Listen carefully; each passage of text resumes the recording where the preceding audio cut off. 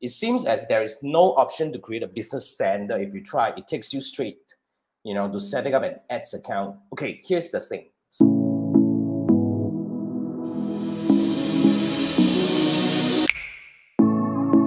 Certain features may not be available in certain countries, just like Facebook, all right? I mean, now in fact, TikTok advertising is not, TikTok shop and stuff like that is not available in all countries um, around the world. So probably that is one of the feature that is missing in your country.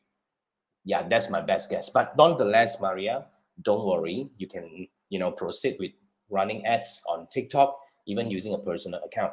I mean, um, the only difference um, I always, you know, talk about here is, um, you know, when you're actually doing it in the business center, it's very similar to our business manager, where you get a more structured way of managing your assets on TikTok. You know, you probably would have TikTok, multiple TikTok account, multiple team members, um, multiple you know ad accounts okay?